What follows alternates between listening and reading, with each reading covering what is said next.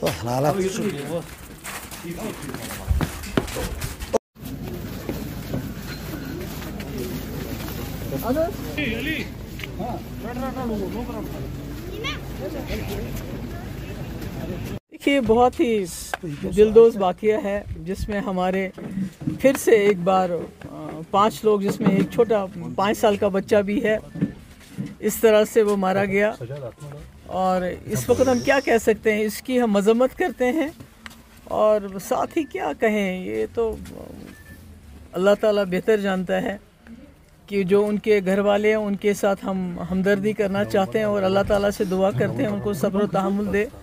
अल्लाह ताला इसको बर्दाश्त करने की, ये हमारा ही नुकसान है, जम्मू कश्मीर के लोगों का नुकसान है।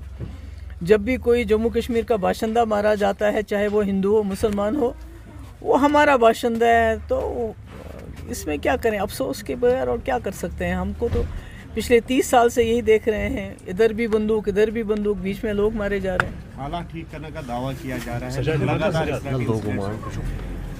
देखिए ये बहुत ही अफसोस की बात है कि इससे पहले राजौरी में आर्मी कैंप के बाहर दो लोग मारे गए और आज डोंगरी में ये वाक़ हो गया। ये हमें तो अफसोस के बगैर हम तो हाथ मलते रह जाते हैं। हाँ इससे ये जो इसमें हिंदू मुस्लिम का नैरेटिव एक जमात चलाती है जिनको इसका फ़ायदा होता है जिनको इन इन किस्म की इस किस्म की हलाकतों से जो है पूरे मुल्क में नफ़रत फैलाने का और एक मौका मिलता है।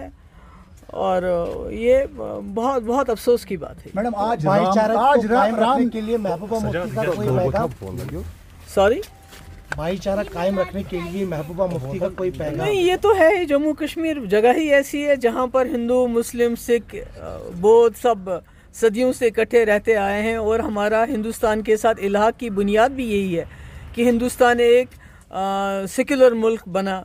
गांधी जी जवाहरलाल नेहरू ने इसको एक सेकुलर मुल्क बनाया।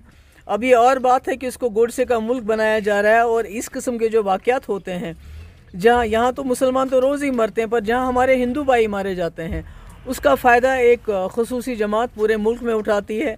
हिंदू मुस्लिम नफ़रत फैलाने में उनके ये बहुत ही काम आते हैं इस किस्म के बाद आज राम राम जन्म दिलदोज वाक़ हो उसकी बात करो बात